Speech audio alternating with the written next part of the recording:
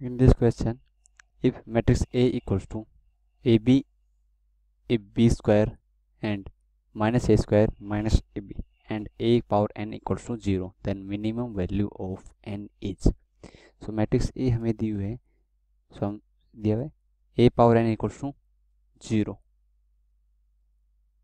so हमें minimum value find out करनी है n की so we know that A square क्या होता है A square is A into A which is equals to फिर multiply matrix A with it so A B B square minus A square minus A B multiply this matrix A with itself A B B square this minus of A square minus A B so A square matrix क्या आ जाएगा हमारे पास? A square matrix equals to A B into A B this is A square B square फिर multiply this row with this columns and B square into minus A square this is minus of A square B square multiply this row with this column minus a square into ab this is minus of a cube b.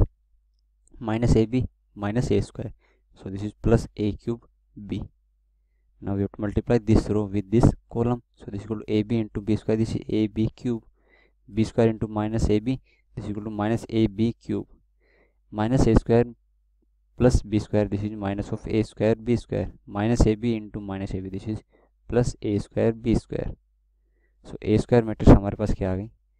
A square matrix equals to A square B square minus A square B square this equal to zero so this is zero cancel out हो जाएगा। ये भी cancel out होगी A B cube minus A B cube cancel out minus A square B square plus A square B square so this equal to zero so zero zero zero zero तो A square matrix हमारे पास क्या आ गई? Zero matrix equal to zero so यहाँ में दिया हुआ है A power N equal to zero so minimum value क्या हो जाएगी इसकी? So A power N equal to zero तो यहाँ से हम क्या कर सकते हैं? Minimum value of N equal to one sorry two क्या हो जाएगी?